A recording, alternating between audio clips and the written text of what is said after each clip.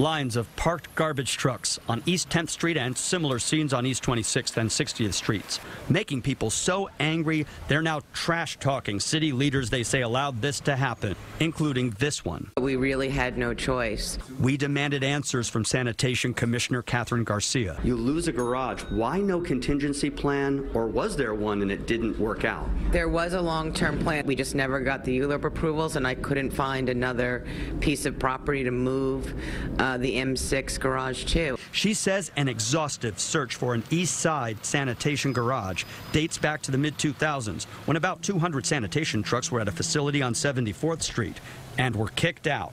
The garage was supposed to be replaced in a land swap deal that fell apart. Fast forward to this year when this West Side garage near the Hudson River shut down. Commissioner Garcia says once again replacement plans failed. The commissioner says the problem moving forward is wherever you want to park a sanitation truck. On the east side, the attitude is not in my neighborhood. We are not usually welcomed with open arms. Councilman Antonio Reynoso is chair of the City Council Sanitation Committee and says he does not remember any vote on a new location to replace the lost garage.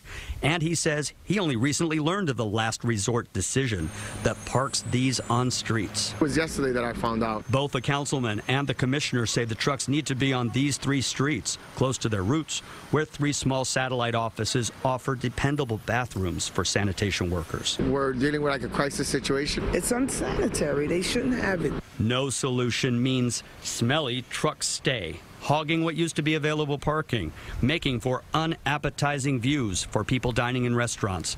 Residents who want a quick fix are being told, don't hold your breath. In the East Village, Dave Carlin, CBS 2 News. And the commissioner adds that finding Eastside real estate for a new garage is a top priority, but it will take time.